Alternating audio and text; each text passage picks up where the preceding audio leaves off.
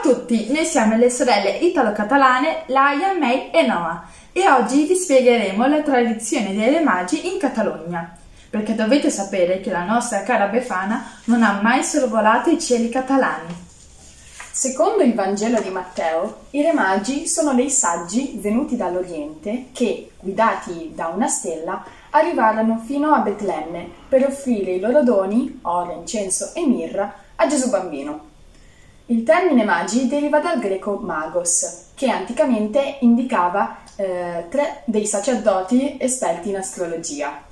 Il tempo e la tradizione li hanno affermati come i tre re sapienti provenienti dai tre continenti del mondo antico che rappresentavano allo stesso tempo i tre momenti dell'esistenza, giovinezza, maturità e vecchiaia.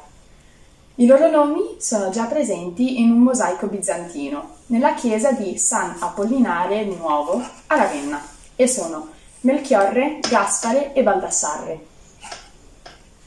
L'anziano Melchiorre, di pelle e barba bianca, proviene dall'Europa e viene chiamato il Re Bianco. Gaspare, di mezza età, di pelle chiara e barba bionda, proviene dall'Asia ed è conosciuto anche come Re Biondo. Il giovane Baldassarre, di pelle scura e capelli nerissimi, è il più popolare, soprannominato il Re Nero, dai doni, dai doni dei Re Magi a Gesù. Nasce la tradizione di portare giocattoli ai bambini. Un ruolo importante nella tradizione catalana è ricoperto dai pages reals, ovvero i paggi reali al servizio dei tre re, con la missione di annunciare il loro arrivo, di sorvegliare che i bambini e le bambine si comportino bene e di raccogliere le loro letterine per consegnarle ai re. Ogni zona della Catalogna ha i propri paggi, il pagge Camarlenc a Lleida, il pagge, i, il pagge Farruca a uh, Igualada e Mallorca e il pagge Gregori a Barcellona. Quando arriva la vigilia dell'Epifania, i bambini scendono per le strade ad aspettare l'arrivo dei re magi e, siccome i re sono magici, trovano sempre il modo adatto per giungere in ogni posto, per via mare, in nave, in elicottero, in macchina, eh, col treno o perfino sugli sci. Pensate che l'ultima volta li ho visti arrivare a Lleida col treno ad alta velocità. Si vede che dovevano essere un bel po' in ritardo. E, eh, subito dopo si dà inizio alla cavalcata dei race, la, eh, un'enorme sfilata che attraversa le principali vie eh, della città. Ogni re possiede la propria carrozza e il proprio corteo. Vestiti con splendidi abiti colorati, eh, lanciano dai loro carri caramelle e cioccolatini ai bambini che vivono questo momento con grande emozione. È vero che a volte vanno sui cammelli o a cavallo? Sì, anche. È vero che a volte ci sono altri carri? Sì, è vero. C'è quello con la stella che apre la sfilata, quello con il paggio reale, il carro dei carbonai che portano il carbone a chi si è comportato male durante l'anno i giganti e altri personaggi tipici di ogni città e puoi dare la letterina all'ultimo secondo, al paggio o al re durante la sfilata e anche consegnare il ciuccio perché stai diventando grande. La sfilata termina davanti alla chiesa principale oppure davanti a un municipio o anche in una piazza importante dove i re magi eh, un dis- rivolgono un discorso ai bambini ri- eh, riflettendo sull'anno appena passato e finendo con un saggio consiglio. Questa notte andate a letto presto.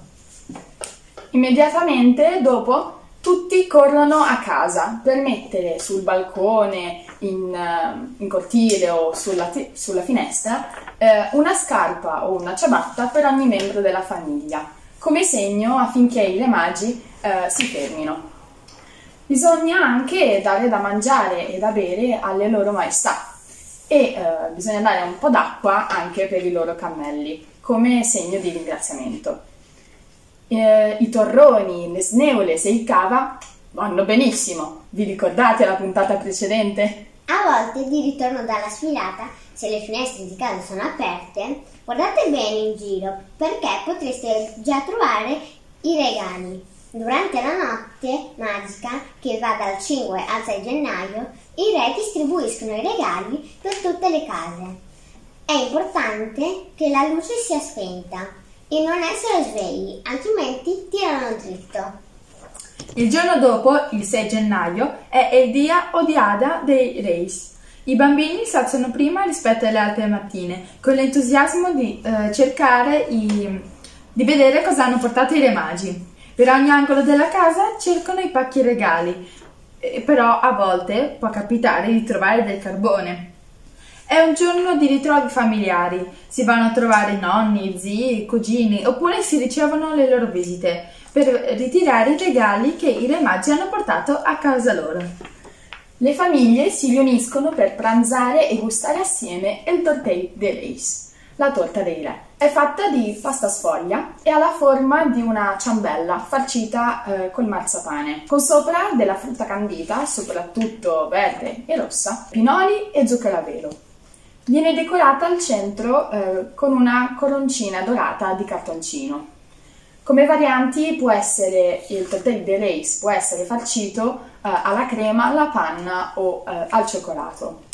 C'è un gioco associato eh, che riguarda due sorprese, una fava secca e eh, una statuina raffigurante uno dei tre re.